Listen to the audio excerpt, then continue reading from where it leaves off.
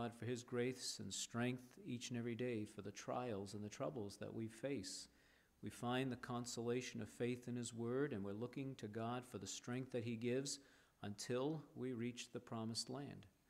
That was the attitude that Peter had, we saw last week. If you turn with me in your Bible to 2 Peter chapter 1, when Peter spoke of his decease, he used the word exodus, my departure, because I'm leaving to go to the heavenly land Peter was looking to meet his Savior in heaven. Are you looking for that? Are you looking for that heavenly land? There's going to be a joyous gathering in heaven one day around the throne, around the glassy sea. And until that day comes, we do seek God's grace day by day to serve Him faithfully. Amen? May God help us and may we be careful. May we be careful to look and the source that God has given to sustain us until we get there the Word of God. Would you join me as I read? I'm going to read, if you'd follow along, 2 Peter chapter 1, and I'm going to read verses 15 down through verse uh, 18. 15 to 18 of 2 Peter chapter 1.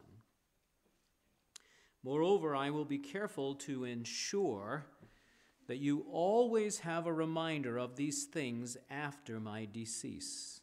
For we did not follow cunningly devised fables when we made known to you the power and coming of our Lord Jesus Christ, but were eyewitnesses of his majesty.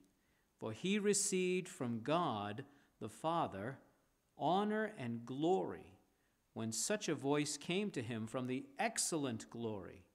This is my beloved Son, and whom, in whom I am well pleased. And we heard this voice, which came from heaven, when we were with him on the holy mountain. Let's pray. Father, thank you for the way you honored your Son, Jesus Christ, when he was here, speaking from heaven, not only to identify, but to glorify Jesus Christ. Thank you, Father that Jesus Christ brought glory to you in the way that he fulfilled all your purpose and will going to the cross, there dying and rising again from the dead, bringing glory to you, Jesus Christ, the author and the finisher of our faith, bringing glory to you who are the author of salvation. And Father, as we look on the pages of Scripture this morning, may our hearts be encouraged and blessed by the reality of what we have in our hands the Bible. The Bible in the English language. Thus saith the Lord, that we might read, that we might know, that we might study and obey, that we might memorize and meditate and grow in the present truth you've given to us. We give our thanks to you in Jesus' name. Amen. We saw last week that Peter and the apostles understood that God was using them to complete his only book of Revelation. God used the Old Testament prophets. Peter alludes to that here in verse 19, calling it the prophetic word. And Peter then re- alludes to the New Testament scriptures in verse 12 when he speaks of the believers knowing and being established in the present truth. And uh, Peter, we saw in verse 15, was being sure. He said, I will be careful to ensure, to make sure that you always have a reminder of these things after my exodus, after I depart. Peter had an understanding, as did the apostles, that God was using them to give us a New Testament to be put together with the Old Testament to complete all that God revealed about who He is, His person, and His work. God, who is the author of salvation, has revealed Himself in Jesus Christ, who is declared in the New Testament to be God, who is the Savior, who has provided that salvation in His shed blood and His glorious, victorious resurrection from the dead. And uh, Peter speaks of that here. Peter was uh, for sure referring to the Gospel of Mark, because as we hear from Papias, it's the uh, apostolic father Papias, who was an acquaintance of the Apostle John. Papias lived from 60 AD to 130 AD. That makes him a contemporary of the Apostle John, and apparently he knew the Apostle John. It is very difficult for us to know exactly all that Papias left because he did an exposition of the New Testament scriptures. But Eusebius had different ideas in mind. Well, I'm not going to get into church history, that's my, my point this morning. A lot of what Papias wrote has been lost to us today. And Eusebius counted Papias' eschatology as incorrect. That makes me very suspect of Eusebius. Papias' eschatology, which is merely the teaching of the scriptures on the end times, Papias' eschatology was that Jesus Christ was going to return to establish a 1,000 year kingdom on this earth. I know what book Papias was reading. This one. But Eusebius, who came along later, having embraced a different than a literal interpretation of the scriptures, embracing an allegorical interpretation of the scriptures, jettisoned this idea of a literal kingdom that Jesus was going to establish, and uh, on it goes. The church fathers you have to be very, very careful about. Papias lived during the time of the Apostle John. Remember, John is writing uh, his book, the God's book, the book of Revelation, his final uh, piece of this New Testament scriptures somewhere between 90 and 100 AD. That would mean that Papias was somewhere between 30 and 40 years old. And he was acquainted with John the Apostle. And it is Papias who says to us, and I quote, The elder, the Apostle John, used to say this also. Another quote Mark, having been the interpreter of Peter, wrote down accurately all that he mentioned, whether sayings or doings of Christ, not, however, in order. End of quote. And so Mark's gospel is exactly Peter's accounting, as Peter alludes to here in verse 15 of chapter 1 of his second epistle, that there would be a reminder of these things after Peter's departure. And uh, Peter wrote, uh, dictated to Mark, John Mark, the same John Mark you read about in the Gospels, the same John Mark that Paul speaks about in Colossians chapter 4. That's who uh, wrote down, as Peter dictated, the events of the life of Christ as Peter recounted them.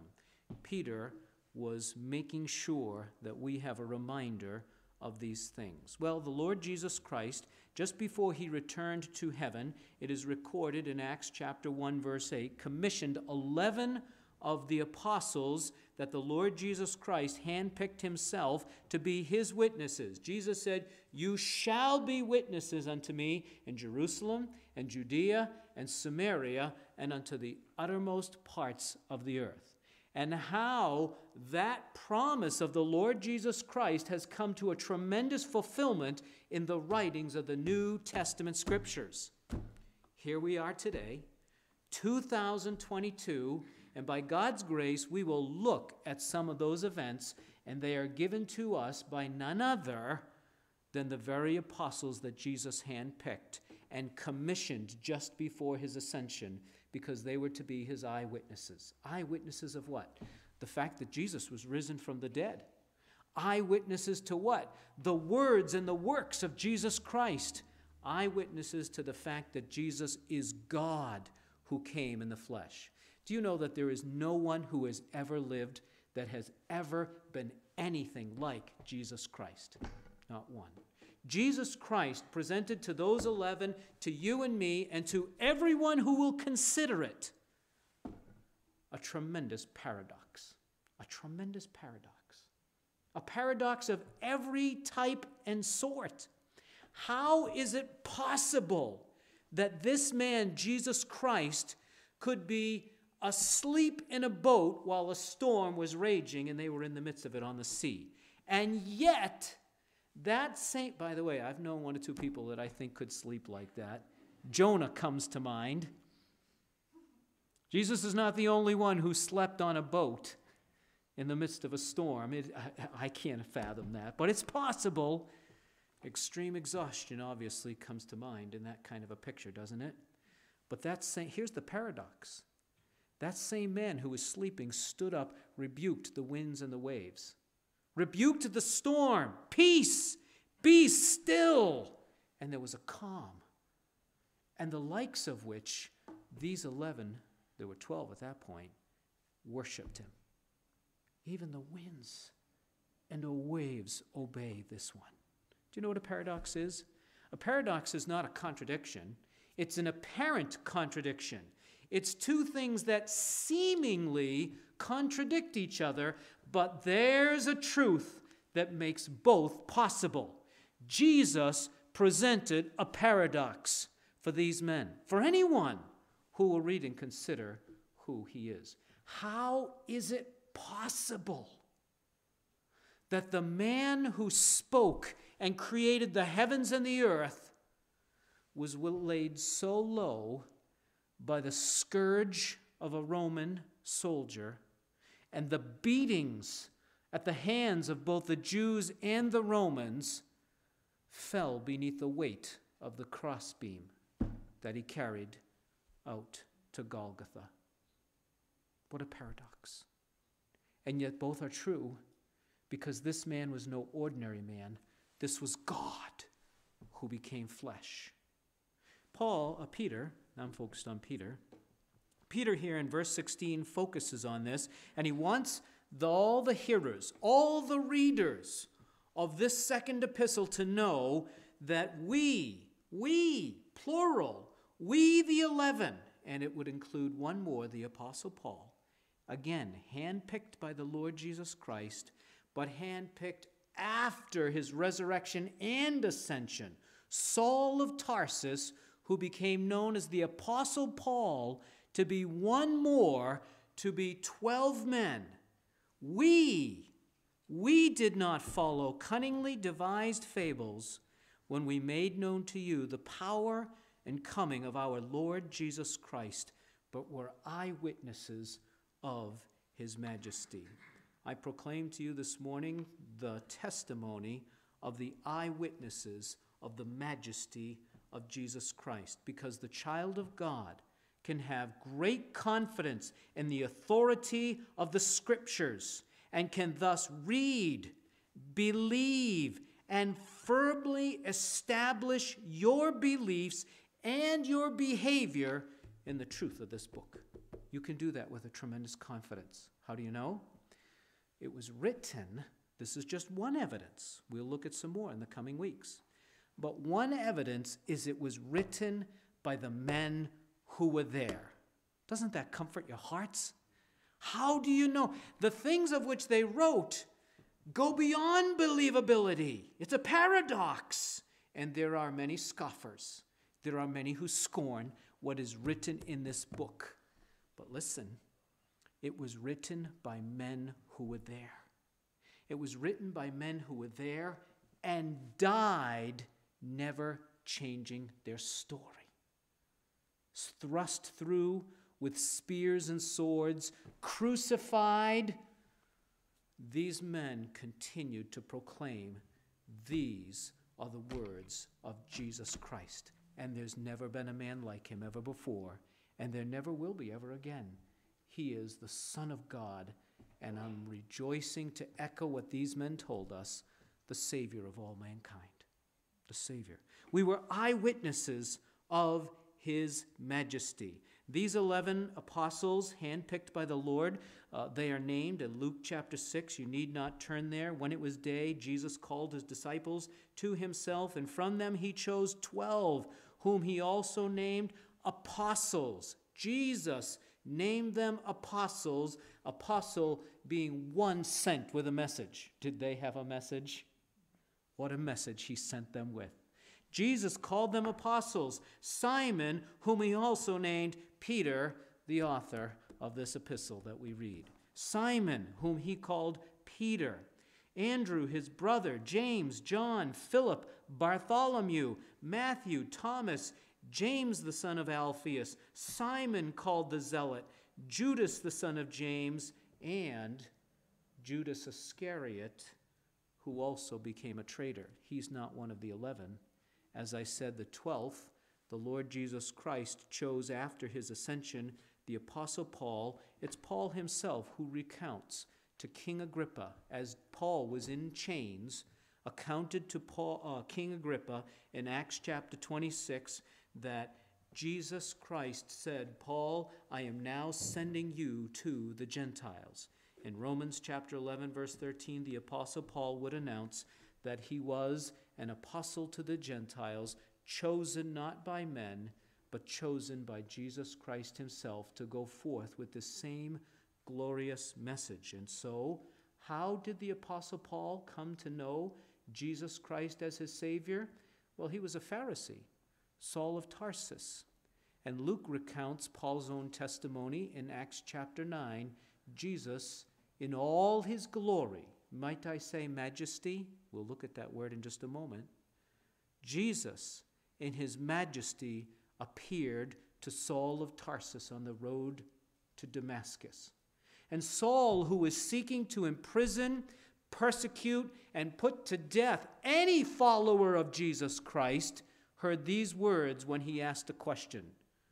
Being laid low and blinded by the majesty that belongs to Jesus Christ, Saul cried out, Who art thou, Lord? And then heard this answer I am Jesus, the very one that you are persecuting. We might take a quick note that no one can touch a believer in Jesus Christ without touching Jesus Christ himself. That's how personal it is with God. If there is any voice that can hear me, any ear that can hear my voice, is what I mean to say.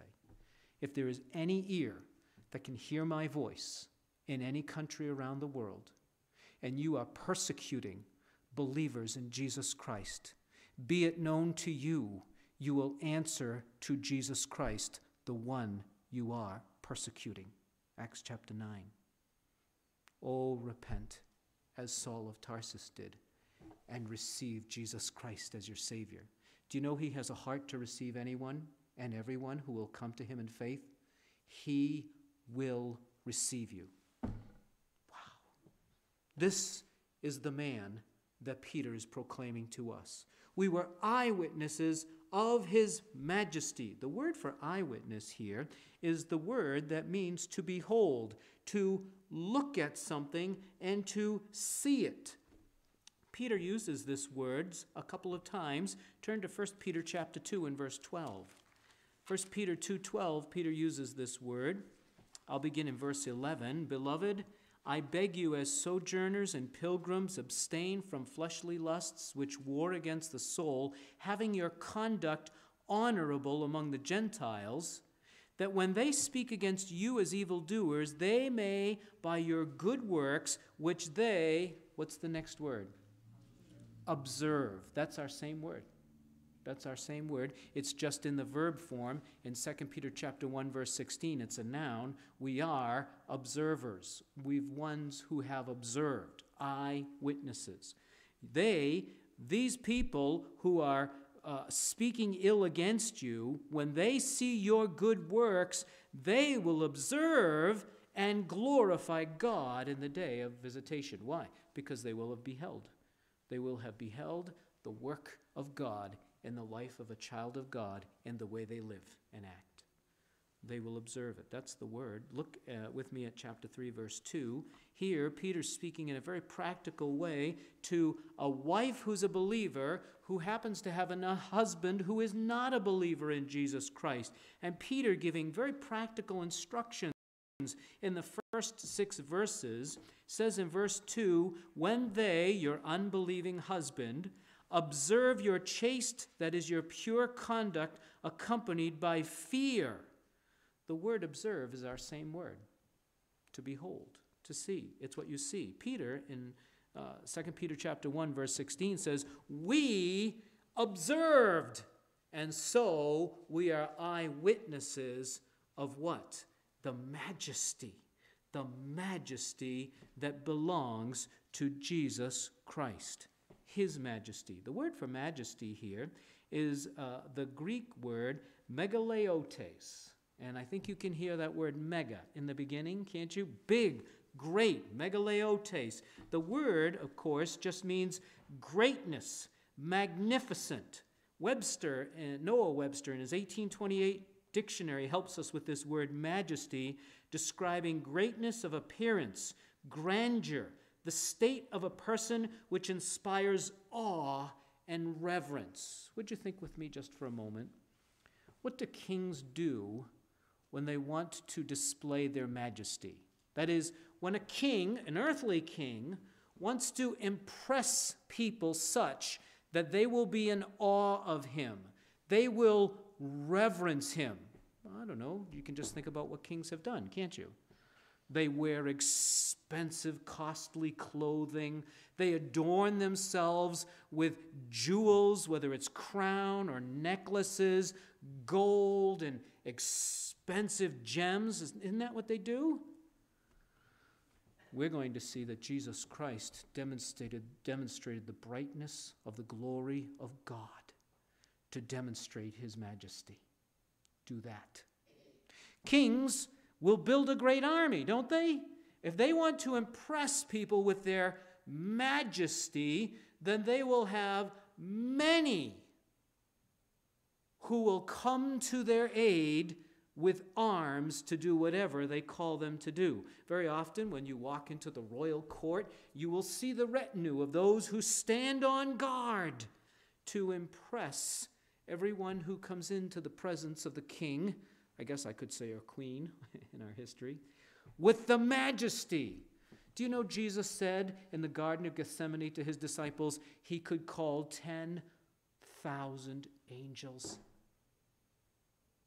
The host of the heavenly army of angels of flaming fire would be able to instantly appear at the word of our Lord Jesus Christ. That's majesty. Some kings try to, with opulence in their architecture, to impress people with their buildings of magnificence. Solomon did that, didn't he? Tremendous buildings of magnificence. Do you know what Jesus said to his disciples, recorded in John 14, just before he went to the cross? I go to prepare a place for you. And if I go and prepare a place for you, I will come again and receive you unto myself, that where I am, there you may be also. It will be the Apostle John who, in his earthly life, would be caught up in a vision to heaven to see this place of magnificent glory, and will record it in Revelation chapter 21 and verse chapter 22. You want to talk about glory and a glorious place. Is not the Lord Jesus Christ capable of demonstrating majesty, the magnitude and the likes of which no human king could ever begin to comprehend, never mind mimic. Oh, yes. And what did he do? It's a paradox what he did. It's a paradox. Jesus went to the cross and he laid down the very life's blood that he took so that you could know God and be saved.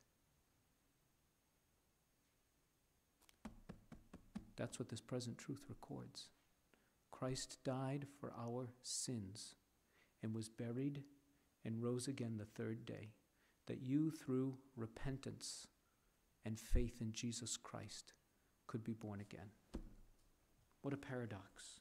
We were eyewitnesses of his majesty. You see here from verses 17 and 18 that Peter is remembering the Mount of Transfiguration.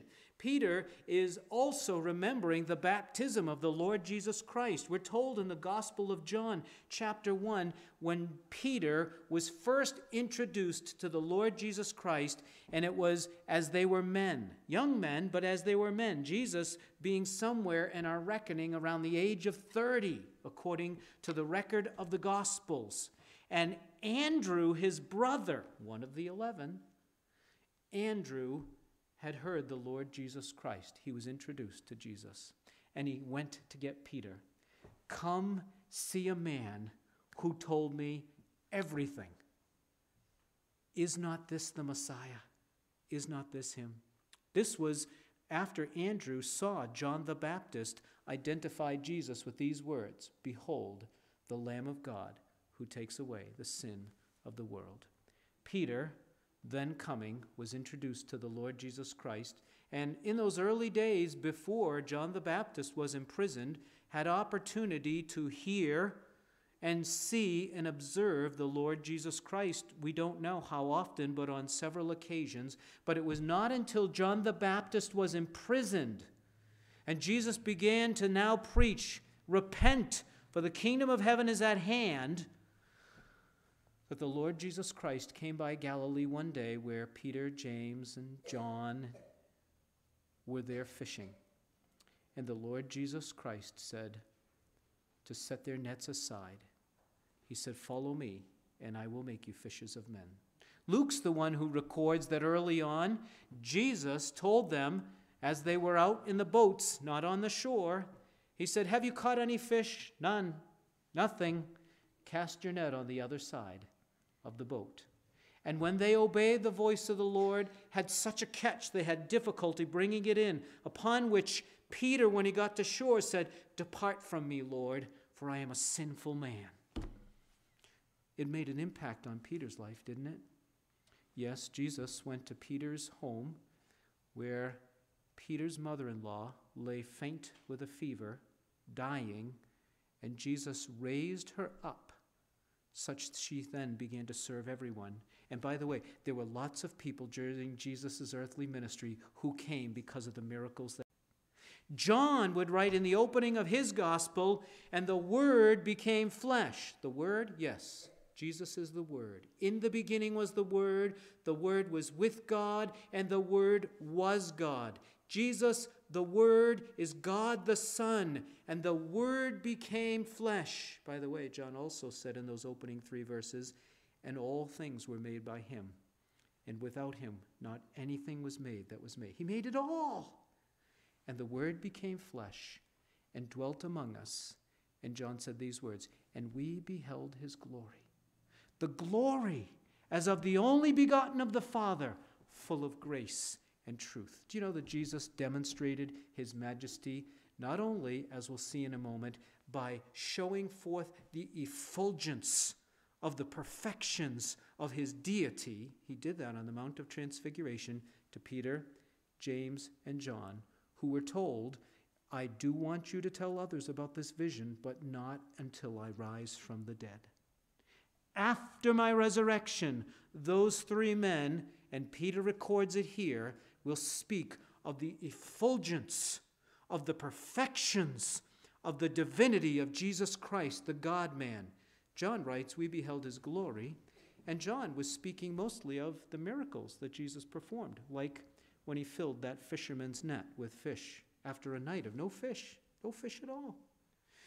Raising Peter's mother in law from a fever that was taking her life, such that she could serve everyone who was there. John records of a man who was not only blind, John chapter 9, but he records of a man who never had sight, ever. Not just an accident or some disease, but he was born blind, never saw. Jesus gave that man eyesight. Have you ever thanked God for your eyesight?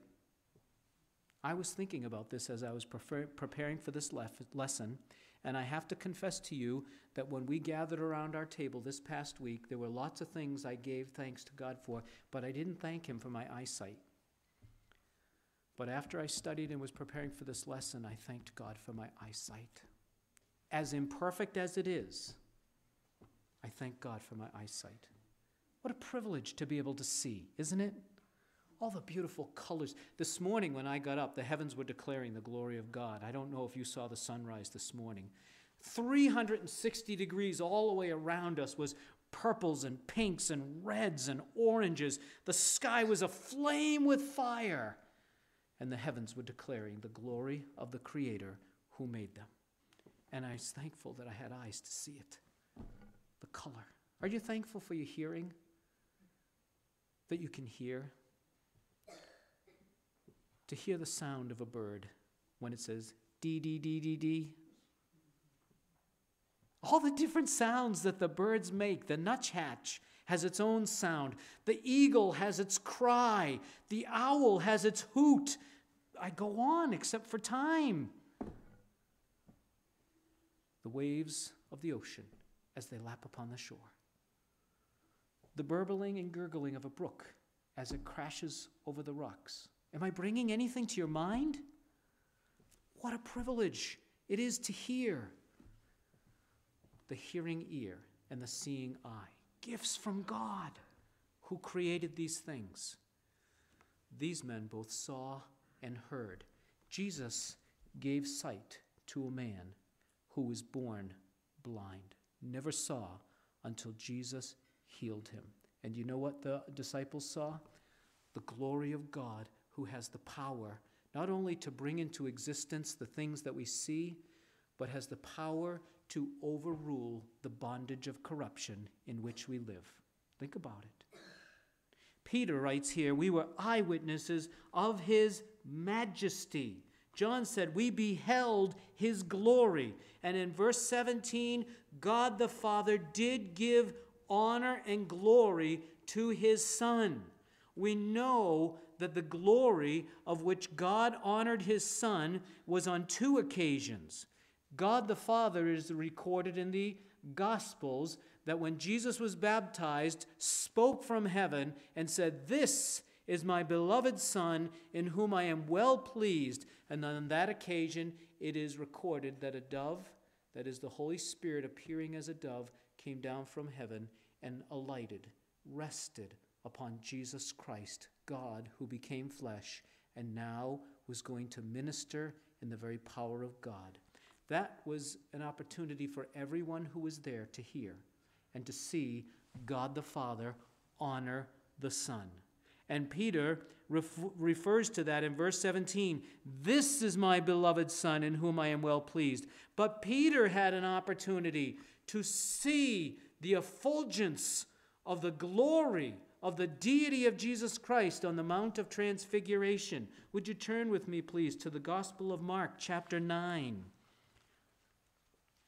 Mark chapter 9 is the recording of Peter when Peter made this known. It begins in verse 2 of Mark's Gospel, chapter 9. Now, after six days, Jesus took Peter, James, and John and led them up on a high mountain apart by themselves, and he was transfigured before them. That is, he changed his appearance, transfigured. Notice the description Peter gives us. His clothes became shining, exceedingly white like snow, such as no launderer on earth can whiten them. Peter, down by the shores, as he was counting and, and taking care of his fish, undoubtedly had seen some people washing their clothes or at some point and said, No one can get their clothes as white as the clothes of Jesus when he was changed before them on the mountain, showing the glory of God. There he was in his glory. Elijah, an Old Testament prophet, Moses, the Old Testament prophet, appear. Old Testament saints, are they lost? Is Elijah sleeping? Is Moses sleeping? No. Have they disappeared? No. Jesus is speaking with them on this mount. The Old, Ta- the Old Testament saints are alive and well in God's economy, waiting till God brings back his kingdom on this earth. Mm. And so they see Jesus in all his glory. But not only that, Jesus in all his glory, there's one more evidence. Verse 5 Peter, it's Peter who speaks up and says, Let's make three booths to honor Jesus, Moses, and Elijah when God speaks from heaven. And in verse 7, a cloud overshadowed them and it spoke. They heard God the Father, This is my beloved Son, hear him. Listen to what Jesus has to say. Listen to my son. And notice, they became greatly afraid at the glory and the sound of the voice of God the Father from the cloud. Do you think Peter understood when he talked about the majesty of Jesus Christ? What a majesty for a father What an awe-inspiring thing for a father to come and say, "This is my son. I want you to listen to him." That's what God the Father said about Jesus Christ to Peter, James, and John, and they understood it and they embraced it. Yes, God the Father honored the Son, Jesus Christ, and Jesus honored the Father. On our way back to 2 Peter, turn with me to John chapter 14. No, go to chapter 8 first. John chapter 8. John chapter 8 and verse 29, the Lord Jesus Christ speaking to the multitude who were gathered there to hear him, told them these words. I'll begin in verse 28. Then Jesus said to them, When you lift up the Son of Man, then you will know that I am He, and that I do nothing of myself, but as my Father taught me, I speak these things, and He who sent me is with me. The Father has not left me alone, for I always do those things that please Him. God said, This is my beloved Son, listen to Him. And Jesus in kind responded by saying, Everything that I do, I do to please God, my heavenly Father. Isn't that the perfect relationship? It's the perfect father son relationship modeled by God the Father and God the Son. A wonderful example to believers in Jesus Christ that we honor our Heavenly Father doing all that we do because it's God's will. We want to please our Heavenly Father. Look at John chapter 12.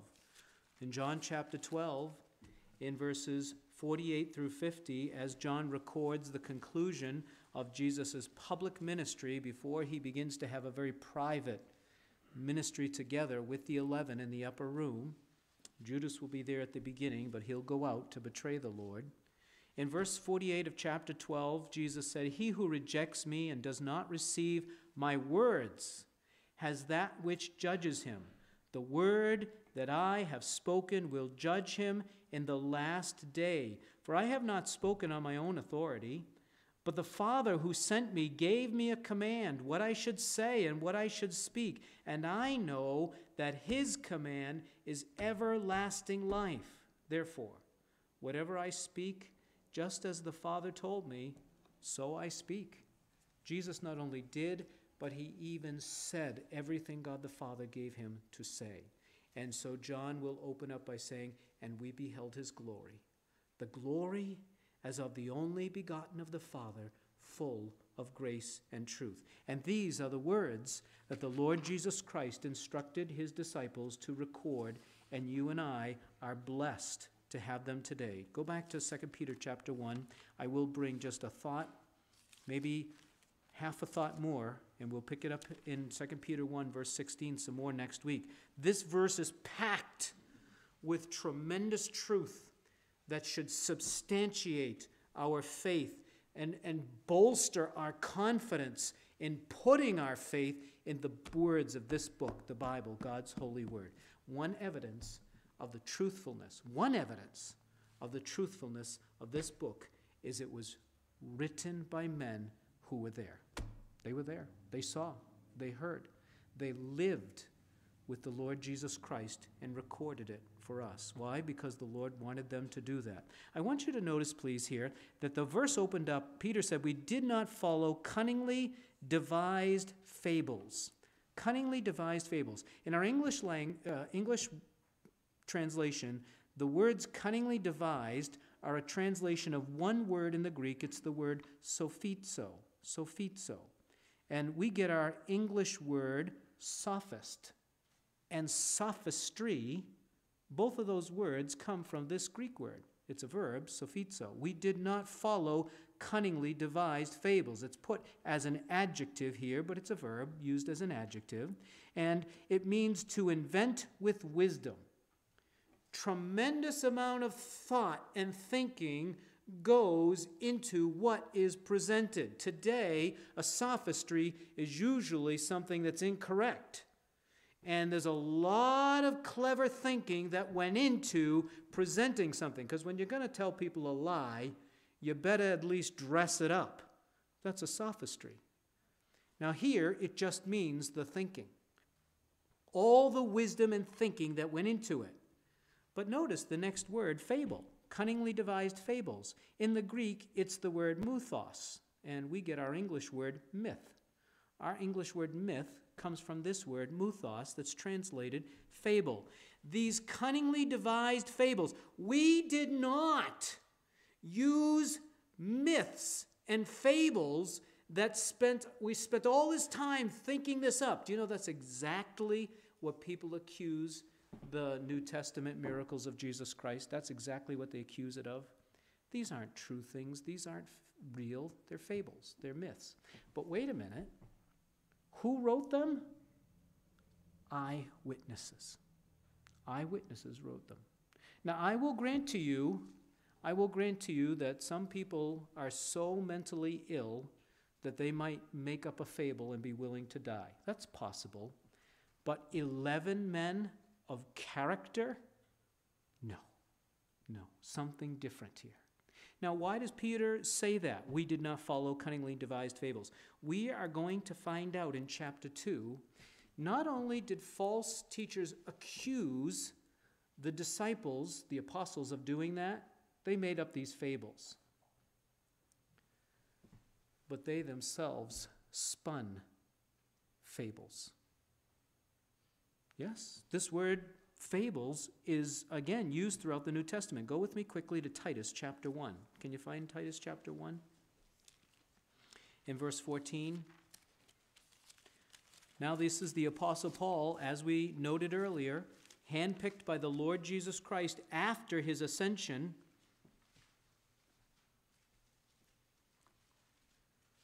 And he writes here to Titus, who is a pastor of the church at Crete, and gives him instructions.